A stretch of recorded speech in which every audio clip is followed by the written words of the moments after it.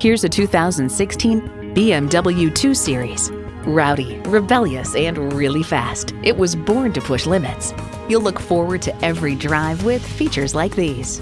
External memory control, dual zone climate control, power heated mirrors, aluminum wheels, intercooled turbo inline four cylinder engine, gas pressurized shocks, auxiliary audio input, leather steering wheel, four wheel drive, rear parking sensors, and automatic transmission.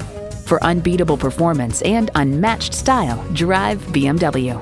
Take it for a test drive today.